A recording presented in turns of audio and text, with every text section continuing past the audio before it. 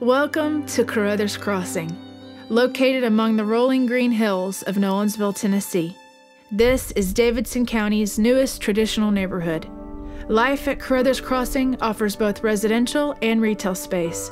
Future plans will see Carothers Crossing grow into its own small town, including a library, post office, activity center, and in the heart of the community, an elementary school.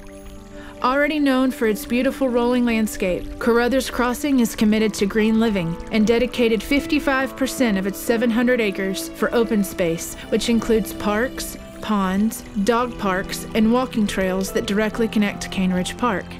We are proud to offer homes and townhouses ranging from 170,000 to 500,000. All homes include custom features built by custom home builders with over 50 years of building experience. Internet, telephone, and TV services are delivered to each home through our fiber optic technology center. Come home to a calm, peaceful surrounding with shopping, dining, and entertainment just minutes away. See for yourself all that's waiting for you at Carothers Crossing. Carothers Crossing, located in Nolensville, just two miles from I 24 and less than five miles from Concord Road. Visit CarothersCrossing.com or call us at 615 941 8631.